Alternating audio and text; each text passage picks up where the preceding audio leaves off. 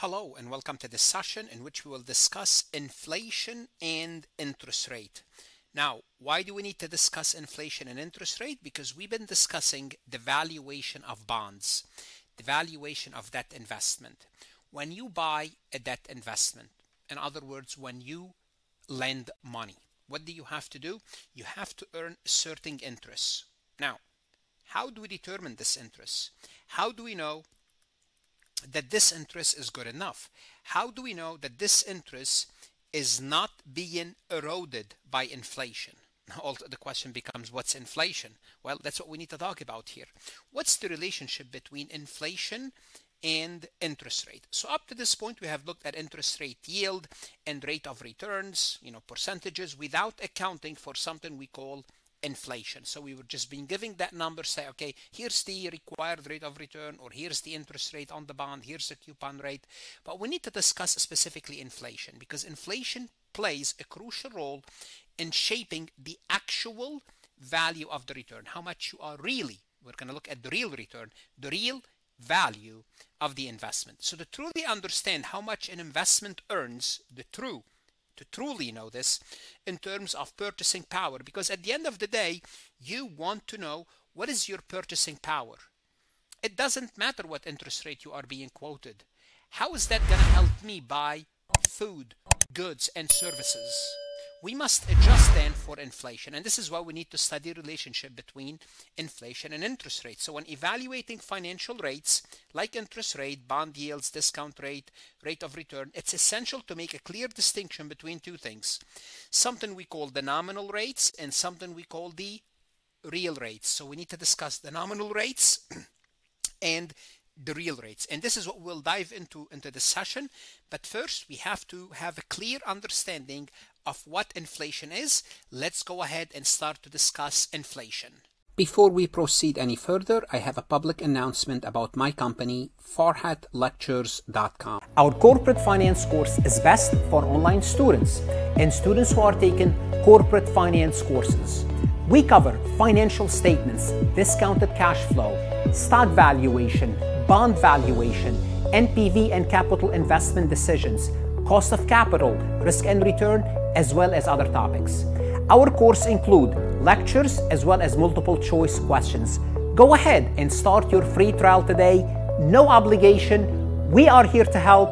Your success starts here. What is inflation? Inflation is a general rise of the pricing of goods the general price level over time it's it increases so that the percentage increase in general pr price level over time so, but how does it work? The easiest way for me to explain this to you is to give you an example. Two reasons. One is I I will explain the concept of inflation from a real example. Two, I'll give you an idea if you want to thank me, if you want to uh, reward me for my lectures, if I help you if I help you pass the CPA exam, you know what to do. So what is the example? The example is this. One of my viewers, his name is Elijah, he passed the CPA exam and as a result he gifted me $100 from my favorite place, Wawa, store Wawa. It's a convenience store. We have it on the East Coast. We also have it in, we, we have Wawa in uh, Florida. So, so what happened is this. He gifted me this after he passed the exam and that was December 16, 2021. And usually what we do, my wife and I, we go to Florida January, February, we'll, you know, we'll take sometime in December, we'll take a trip to Florida. So here's what happened. He so he gifted me this gift card someplace here, I would say someplace here, when the inflation was still uh, in the US was rising. I forgot to use it. Actually, I forgot totally about it. I get busy. So another year went by and that was tw December 2022 and inflation was almost peaking and guess what I forgot to use it what's the point the point is this if I used it when he initially gave it to me $100 and I'm gonna use it for gasoline to drive my car to Florida so I'm gonna fill out my car with gasoline at Wawa so and for the sake of illustration we're gonna assume it was $3 per gallon. So if we take $100 and divide it by 3, I, I could buy 33 gallons of gasoline in 2021 when he gave me this $100. Well, I forgot to use it. Well, if I used it in 2022, the same $100, the price of gasoline was approximately, don't quote me on this, approximately, if I said approximately three, approximately five, it means it went up. I don't remember the exact number, but it went up definitely. So the same 20, $100, the same gift card that Elijah gave me in 2022, it would have only purchased 20 gallons of gasoline. Now, obviously, inflation went down, and what happened to gasoline prices? Gasoline prices went down, and my $100 would buy me more gasoline. So you see how inflation works. Inflation can reduce your purchasing power. It can erode your purchasing power. So although it's the same gift card, the same $100, but a year later, my purchasing power eroded. Then, and believe it or not, I totally forgot about it and I didn't remember it until inflation went down. I went back and I used it at Wawa, but not for gasoline, just in case you're wondering what happened. So, what's the moral of the story? If you want to gift me something, gift me from Wawa, gift card from Wawa. Well, the point is you need to know what inflation is and how does it work. Now, we need to talk now we know what inflation is, just it what is it? It's a percentage increase and the general price level over time. Just everything everything goes up in price. Why? There are many reasons. We can discuss that later, but this is the idea of it. So there's a real versus nominal return. We have to know this. What's the difference? So when you're evaluating rates, like interest rates, bond yield, discount rate, it's essential to take into account inflation and make a clear distinction between nominal and real. So what's nominal? Nominal rates that's the that's the rate that's quoted in the market. So when you buy the bond or when you put your money at the bank, let's assume you go to the bank and you you want to put your money in a savings account called certificate of deposit and they tell you it's 10%. That's the nominal rate. That's what they're telling you. This rate do not account for inflation. They are labeled nominal because they express the return in current dollar terms, not adjusted for rising prices. So this is how much they will pay you, 10%. Then we have to know what the real rate is. The real rate reflects the true increase in purchasing power. So the real rate takes into account inflation. A real rate, it's real, right? It's real. Tells you how much more how much more you can actually buy with your money after considering the impact of inflation. So if I deposited a $10,000 and I earned 10%, at the end of the year I earned $1,000.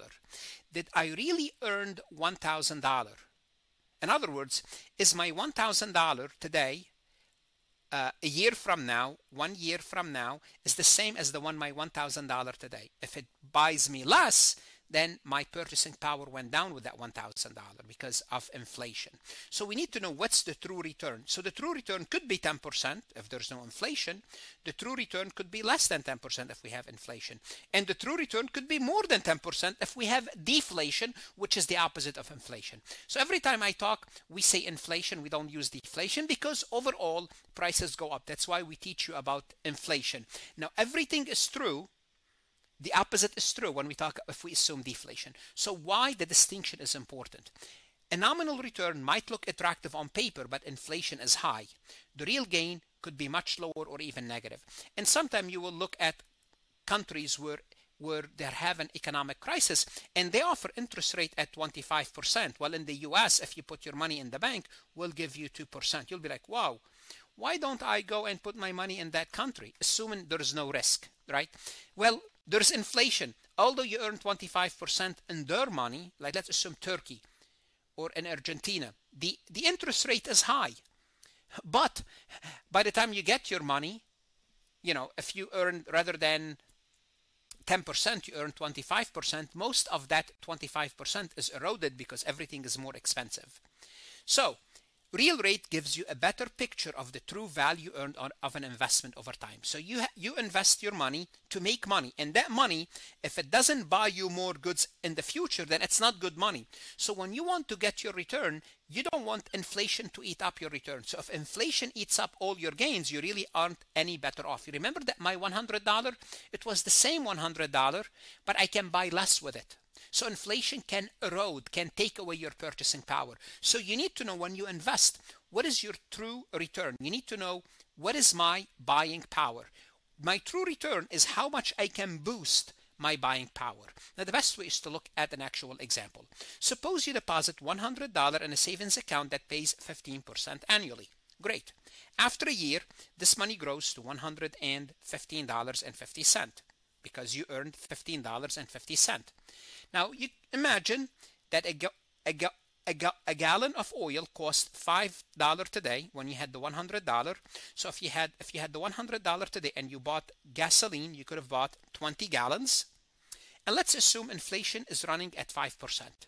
So if inflation is running at five percent, the price of gasoline a year later becomes 5.25. Now I'm using gasoline as an example. It's a bad example because gasoline prices could go up and down for reasons other than inflation, but let's assume gasoline prices is moving with inflation. So the price of gasoline is 5.25. Now, you earned $15.50 more. Now what's going to happen to your purchasing power? Because you earned $115, now you have $115.50. If you take this new money, the the money that grew and you want to buy gasoline, you can buy 22 gallons. Hold on a second. Did you earn 15%? No, you did not earn 15%. So even though your money increased by 15.5, this is your growth in your money because you went from 100 to 115.50, which is 15.5%. Your purchasing power only grew by 10%. And let me prove it to you. A year earlier, you could have bought 20 gallons now you can buy 22. So if we take 2 divided by 20, your true purchasing power is only 10%. Why? Because here's what happened. Yes, your total return is 15.5%. No one can argue with that. Of that amount, of that amount, 5% was eaten by inflation. So what's left? What's your true rate? Is 10%. And we're getting we're we're getting to see this. Now this is approximate. Inflation approximately 5, your real return is approximately 10. Now there's a formula. We're going to see how we can compute this, but I hope you got the point. You did earn, the bank told you, you earned 15.5. 100%. They gave you $15.50. But as inflation went up, $5 and $5.50 of your purchasing power was eroded. So if you wanted to buy the, the gasoline to go to Florida, you can only get two additional gallons two additional gallons. Now, what am I saying? What I'm saying is this.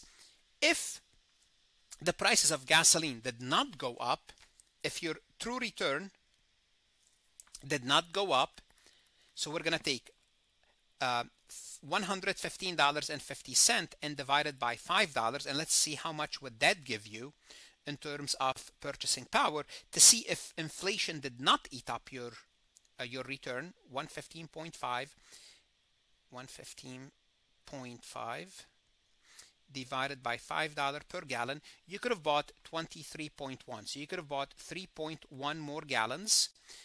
So 3.1 divided by 20, you guessed it, it's going to be 15.5%, 15.5%. So notice you earn 15.5, but it's not true. Your only return is the actual return is 10%. The real return is 10%. So the 10% is the real interest rate.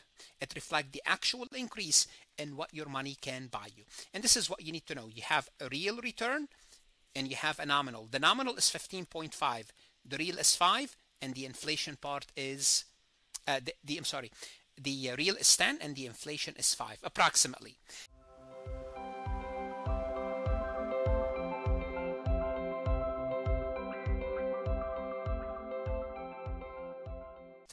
Now let's take a look at this multiple choice question from farhatlectures.com.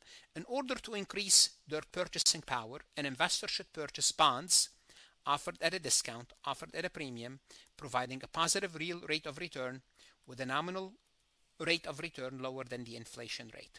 Which one we could we could immediately take out? You don't want a nominal rate that's lower than the inflation. It means you are losing money. So if, if the if the nominal rate is 10% and the inflation is 12%, it means you're losing 2%. So that's out. That's out. You don't. So this is an easy elimination. So we're left with A, B, and C. Should you purchase a bond offer at a discount or a premium? A discount or a premium does not tell you anything about your purchasing power. Your purchasing power, whether you can buy more or less with your money. to increase your purchasing power, you want to have a positive real rate of return. If you have a positive real rate of return, then you would then your purchasing power goes up. Then your purchasing power goes up, and we'll answer this question. This is what we mean by increasing your purchasing power by increasing your real rate of return.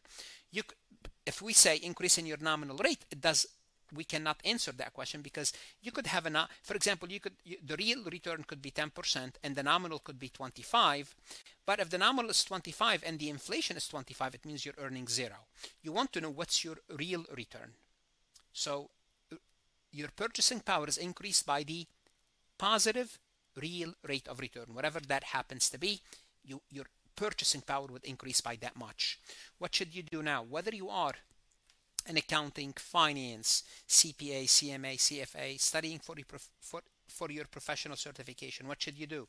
Go to Farhat Lectures, look at additional resources, lectures, multiple choice, exercises that's going to help you. Invest in yourself. That's the best investment you can make.